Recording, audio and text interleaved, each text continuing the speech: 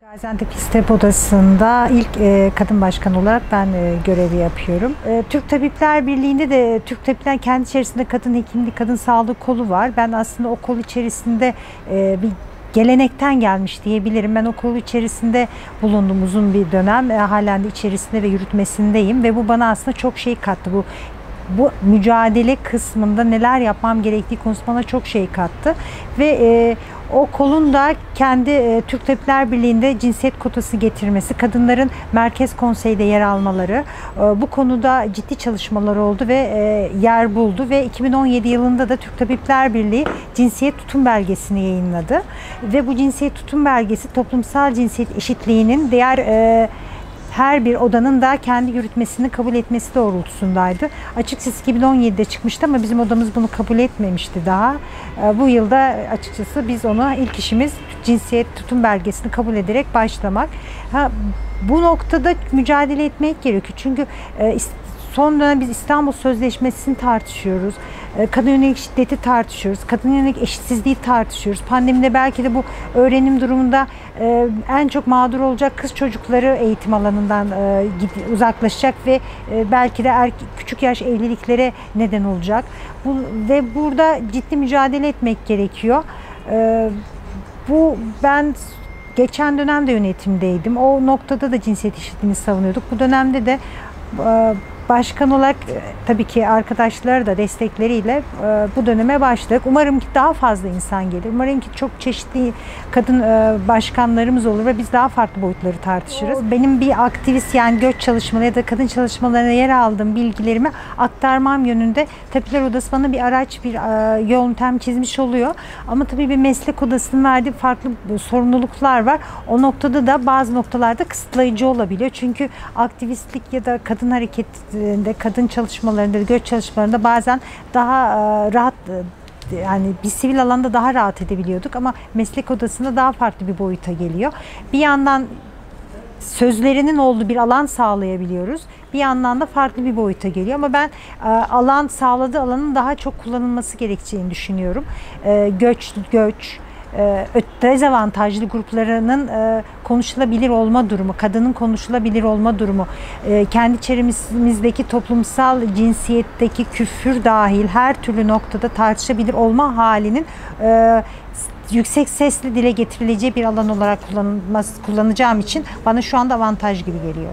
Türkiye genelinde 10 8 ya da 15 tane kadın e, Türk Tabipler, Tabip Odası Başkanı var. Acaba zor zamanlarda toplumsal cinsiyet rolleri kadınlara mı yine düşüyor ya da o da bir o da bir şey, nokta mı yoksa bizim mücadelemizin sonucu mu biz bunu ettik? Bence bunu biz pandemiden sonra biraz e, netleş net olarak göreceğiz. Ancak e, dediğiniz doğru pandemide şeyler çok değişti. Yani antidemokratik uygulamalar daha fazla oldu ve bunu, bunu hep pandemi kararları olarak çıkıyor ve bunu tartışamaz bir noktaya gelebiliyoruz. Bu noktada e, mücadele de sertleşiyor ama farklı bir platformlar da e, yaratmaya başladı, başladık yani artık belki sağ, e, bir basın açıklaması yapma halimizin çok demokratik bir noktada bile engellendiğini görebiliyoruz. Çünkü bir gün önce bir basın açıklaması yayınlıyoruz. Aynı akşamda valilik yasaklama kararı çıkarıyor pandemiden dolayı.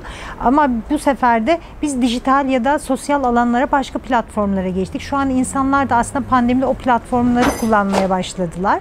Ee, bu burada yani mücadelemizin şekli değişti. Zor ama bir hoca şey pandemide biz de tarihe bir not düşüyoruz aslında. Belki bir beş yıl sonra bir tarih olarak biz de yerimizi alacağız ve yaptığımız hak savunuculuğumuz, yaptığımız doğru bilgilendirmenin ne, ne kadar önemli olduğunu göreceğiz. Yani devletten Türk Tabipler bir oda olarak beklentimiz pandemi bilgisini lerinin açıklanması, verilerini, e, istatistiklerini, alt e, neler olduğunu. Çünkü biz eğer o bilgiyi bilirsek neyle mücadele ettiğimizi bilebiliriz ya da verdiğimiz, kullandığımız bir ilaca dair bir bilimsel verinin paylaşılması ha bunu kullanılacaksa dünyaya bir ver, dünyaya vermiş olup kullanılmayacaksa da erken kesilmesiyle birlikte hayat kurtarıcı olabilir. Bu noktada aslında büyük eleştirilerimiz bu noktada geliyor ve bundan dolayı da iktidarla gereken kamu kamuyla çatışıyoruz. Çünkü Türkiye'de merkezi bir yönetim var ve yerele o yansıyor. Yerel kendi kararlarını merkez dışında veremiyor. Ben pandemi toplantısına dahilim e, odası olarak ama herhangi bir bilgiye sahip olamadığım için yorum yapamıyorum. Ama yani o veriler dışında tabii ki ben hekimlerle görüşüyorum, hastanelerle görüşüyorum ve o noktada aldığım verileri sunuyorum. Şu gelinen noktada pandemide belki Antep'te e, belli bir vaka azalması var. Özellikle biz Temmuz'un ortasında çok yüksek bir vaka artışı vardı. Bütün Covid için ayrılan hastane e, yataklar ve yoğun bakımlar doluydu. Şu anda servislerde bir e, boş olanlar var ama yoğun bakımlar dolu.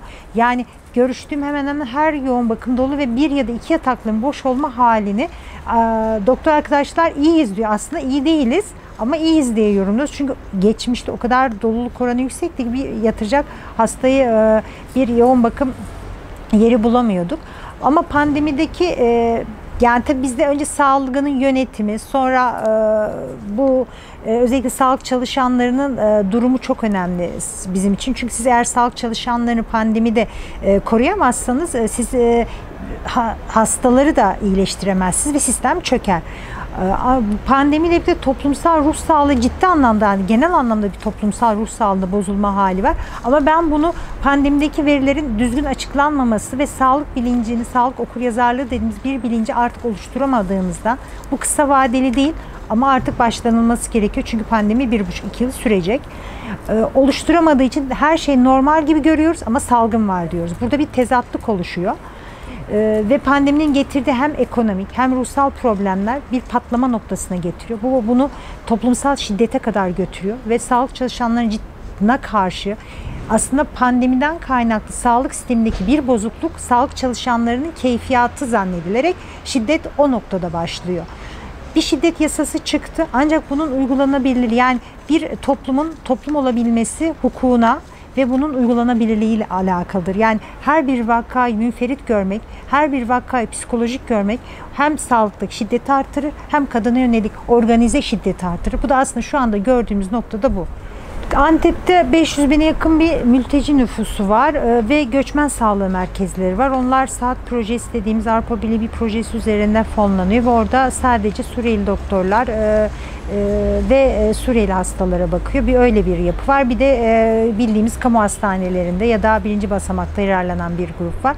Genel olarak ilk salgın ilk başlarında evet bilgilendirmeler onlara yönelik değil. Çünkü şimdi Türkçe bir bilgilendirmeyle bu iş e, çünkü onların e, dilleri yani belki bazıları konuşma dilini biliyor genç nüfus ama yazma dilini bilmiyor. O noktada sıkıntılıydı. Daha sonra Arapça metinler oluşturuldu. Kendi şey networkleri alanında. Benim bu konuda Gaziantep üzerinde herhangi bir açıklaması yok.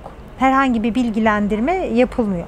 Ancak benim e, görüştüğüm hekim arkadaşlar ve e, salgının ilk üç ayında bütün göçmen sağlıkta hemen hemen gezdik. Oradaki görüştüğümüz hekim arkadaşlarımız da aslında salgının 3 ayında biz de oradaki sağlık çalışanlarını ne yazık ki yok saydık.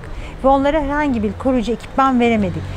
Türkiye'li kısmı da sorunluydu. Evet onu kabul ediyorum ama o bölümü hiç görmedik. O bölümün o bölüm sesi bile olamadık. Yani e, herhangi bir yer, herhangi bir Türk Tabipler Birliği içerisinde bile yer alacak kadar bir sesleri olamadı. Biz şu anda mesela 5 ay geçtikten sonra geri dönüp baktığımız evet diyoruz biz bunlardan sesi olamadık diyoruz.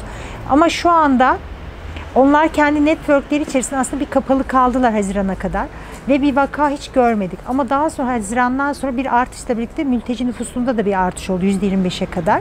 Ve e, şu anda e, sanırım artışlar o kadar yüksek değil ama e, herhangi bir e, dezavantajlı gruba yönelik pandemi yönetimi yok. Yani şöyle bir e, şey duyuyoruz kamuda. Ayırmıyoruz biz onları. Sağlık eşittir ancak bazılarının özellikleri de farklıdır. Bu noktada bazı noktalarda ayırmamız gerekiyor. Eşit hizmet ama farklı yöntemler. Bu böyle bir farkındalık ne yazık ki ben göremiyorum.